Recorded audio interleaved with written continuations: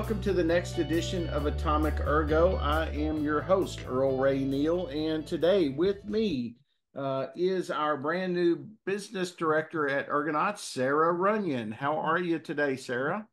I am great. How are you? Oh, ha- very, very happy to, to, to have you on board. You know, our chief visionary officer, um, Steve Davis, uh, just talks so highly of you and we wanted to take the opportunity to uh, uh, share you coming on board with us with our listening audience. So, welcome to Ergonauts, and certainly welcome to uh, my little corner of Ergonaut world, uh, Atomic Ergo. So, uh, tell us a little bit about your background. I know you were the Eastern Regional Manager with Dorn. Uh, you, you, own your own business, mobile wellness massage therapy, and of course, you're on on with Ergonauts now. So tell us what you've been doing and sort of how you got here.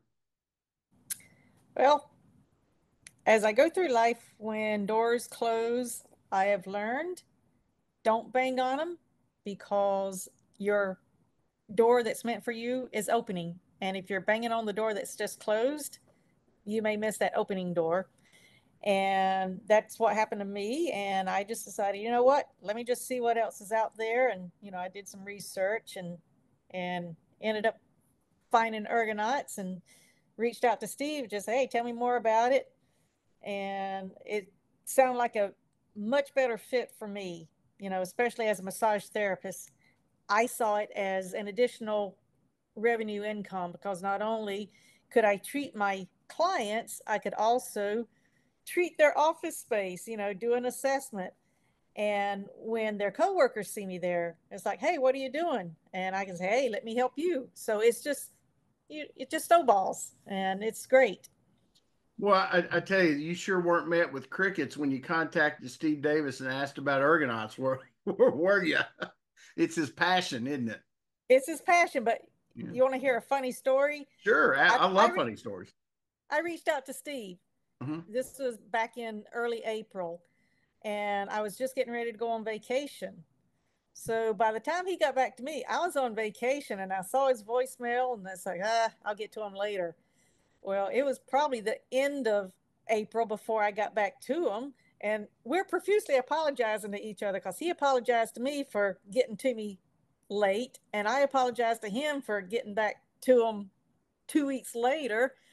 But, you know, once we got our apologies out of the way, we just sat down and you know, got to business and and it's been a fun time ever since. So you've obviously had a a focus, a clear focus on health and and wellness in your career. Is there someone in your life that motivated you, or you know, what led you down this career path? When I was seven years old, when my dad would come home from work, he would say, "Rub my neck, rub my shoulders," and I just enjoyed doing it, and I knew that was my calling the healing and helping people. And when I graduated high school, I'd been working in manufacturing. Well, a few years later, here I am, a single parent, still working in manufacturing. And at that time, we were working like seven days a week. I was exhausted. So I laid out one weekend. My daughter was like, Mom, I miss you. Let's spend time together. I said, Let's do it. Well, my boss yelled at me and when I came into work that Sunday night because I was working graveyard shift. And I just said, you know, after he said, Your job comes first, I said, Nope, my daughter does. And that was the kick in the butt that I needed from him to say, You know what? It's time to pursue my dream. And it what a great that, that's a that's a great story. There's always some precipitating event uh, that that gets somebody going down a down a different direction you know you've ended up with several certifications and you've got lots of experience in what we call the ergo world. Why why did you so, uh, become so uh, passionate about uh, ergo algo and ergonauts?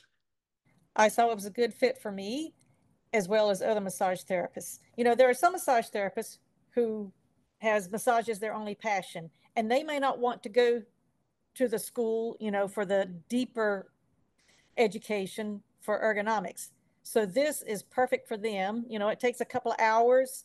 You do your review quizzes, you do your final test, and then you can get to work. And I love it. Not only when I do the evaluation, I'm able to assess everything all my recommendations are right there and all of the links for my recommendations. If someone needs a new chair, someone needs a foot rest, wrist rest, arm rest, whatever, you know, it's all comes in one report as soon as I hit finish. So, Steve, uh, the Ergonaut CVO says you're you're a, a, fireball, and I, you know, I can see that. Mm-hmm. Uh, you've been spending lots of hours uh, lately with the uh, Ergonaut leadership. Uh, mm-hmm. You know, sort of what's your vision? Where where do you see Ergo, Ergo Algo going uh, in the, in the near future? International. I've already got a couple of people from my LinkedIn connections from other countries reaching out to me, asking me about it. So I'm just following up with them and staying on them and just say, let me know if I can help you. You know, you, you just you don't have to sell it really. If you just no. if you can get somebody to to sit down and look at Ergo Algo and and just see what a value add it can be to your practice uh, as as a therapist, for example. Mm-hmm. Uh, it, it's it it really um, you know it, it really sells itself for for a one of a better term. There's a you know there's been a big increase, and we're seeing uh, a, a, significant trend with massage therapists coming to Ergo Algo. Uh, you know, you say it's a, a perfect fit for them. Uh, if you want to just pretend for a second that you're talking to a group of you know, uh, massage therapist or even physical therapist. I, I use them uh, a lot because my son is actually at Marshall University in the doctorate of physical therapy program, and he uses it. He's already done a few of the evaluations. Uh, mm-hmm. can, can, you know, he was a beta tester. Can you, uh, you know, talk to those folks and and you know, give us, you know, give us sort of what what you would want to emphasize to them. It's a great additional income revenue. And if you're seeing your client and they're coming in every week, every month, and you're working on the same issues, instead of being the revolving door and just beating a dead horse and not getting any changes, you just say, hey, let me check your office space. And that's exactly what I did. As soon as I got my certification, I had some clients already in mind and I reached out to them. I said, next time I see you, we're going to do an office assessment because both of these clients work from home. And then I had a couple of others, you know, that I called them. I said, Hey, I'm coming to your office. So I didn't give them the option. I just said, I'm coming to you. And they know this is part of your treatment. Yeah, this is part of your treatment. So that is a great segue into this next question. You know, home office ergo evaluations. Um, you know, let's talk about that for a little bit. Pre-COVID, 16% uh, roughly of offices were remote. Post-COVID, over 30% are remote. Uh, so, how are massage therapists serving this market uh, in a way to help, you know, both the employees and the employers, like the example you just gave? Well, when you go to their home, the their home office does not see their office setup in their private home. So you may have people sitting on the sofa. You may have people just using their ironing board or their kitchen table. And it is not good for, you know, your posture and stuff. Before I got into ergonauts, I'm guilty. I used to sit on my sofa and have my feet propped up and have my MacBook in my lap and I used to be on it. Once I got into the ergonauts, I said, you know what? I need to practice what I preach. And I got my own little home office set up now with my standing desk. And my office chair is actually a saddle stool, which I think is very comfortable for me. It may not be for everybody because you know you're, you're engaging your core when you're using your saddle stool, but it works for me. And and this way, if someone says, "Well, what do you do?" I can say, "These are the steps I took. This is what I've purchased and what I have." Always love being able to throw in, oh, and by the way, I'm an ergonaut. And they always go, oh, what? and you have an opportunity. It's a perfect yeah. segue uh, in, into talking about uh, ergonauts and, and Steve's, you know, vision for, for, for the uh, company.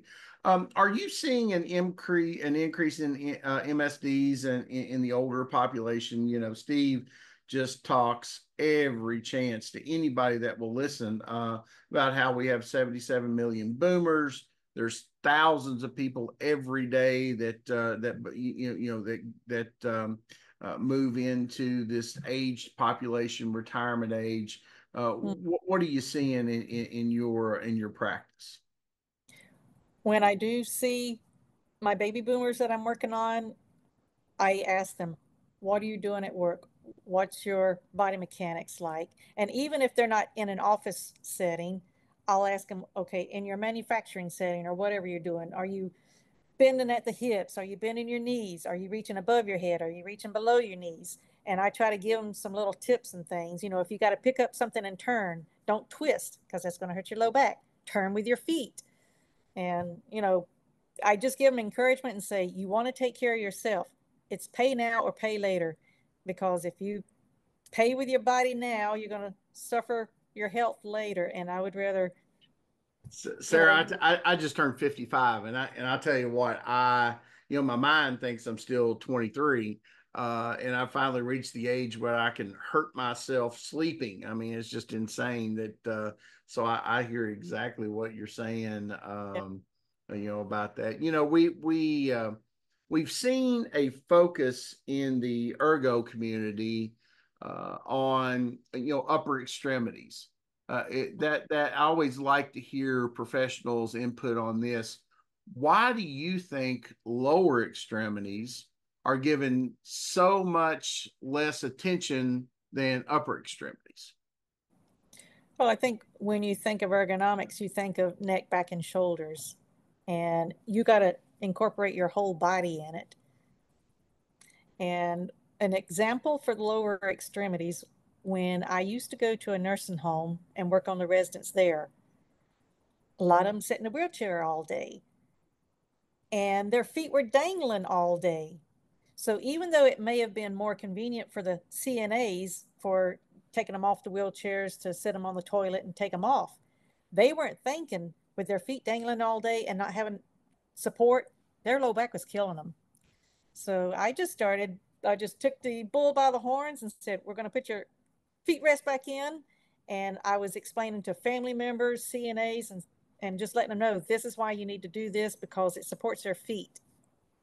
This is by far my favorite question I ask. It's always my last question. Uh, wonder if you have given any thought to what you would like for your legacy in the professional world to be. Uh, like I stated at the beginning of the meeting, when one door closes, don't bang on it because another one's opening for you. So, you know, just because life knocks you down, don't think, oh my God, it's the end of the world. It's just the universe leading you to where you need to be. You know, we always give our um, our guests an opportunity to use this platform to talk about, uh, you know, their their favorite charity, uh, some some organization that you're particularly fond of. So, if you have a favorite charity uh, that you'd like to have our listeners consider, uh, would love to give you this opportunity to have you speak to that as well, Sarah. It's Running for Heroes. It was started by a little nine year old boy several years ago by the name of Zachariah. And what he does, he runs one mile for the families of the who pay the ultimate price, you know, the the um, whether it's a police officer, rescue, or whoever, you know, if they get killed in the line of duty, he runs one mile for them and he raises money and he helps these families Okay. Do they have and, a website or if you yes. could, you could forward that to Steve. We'll post that yeah, on. Uh, so folks, we'll leave that for you down uh, where you can uh, get to the questions, comment sections. Don't forget to favorite and like us, follow us. We would appreciate that very much. Sarah, I've really enjoyed spending this time with you and getting to know you a little bit better. I can see why Steve is so fired up to have you on board. Uh, and we look forward to uh, working with you and watching Ergonauts grow into what uh, you know you and I both know it can be. Yes. So thank you, thank you very much for your time, folks. That'll wrap up this edition of Ergo Algo. Again, I am your host Earl Ray Neal. If you have questions, comments, concerns, or you have somebody that you'd like for us to interview, you want to suggest that, or uh, as you well know, we we have experts on all the time. uh, on any particular field that you would like us to uh, interview an expert in, uh, get get you a little more information for that. Feel free to leave that down uh, in the comment section. You know, we are um, a growing company, but we're still at that stage to where don't be surprised if you leave uh, a question, a comment, a concern, or suggestion, uh, that instead of getting uh, some type of auto reply, you get a direct email from our Chief Visionary Officer, Steve Davis. Uh, so, on behalf of the Ergonaut family, I want to remind you to be good to each other and uh, look forward to seeing you on the next edition of Ergonaut's Atomic Ergo.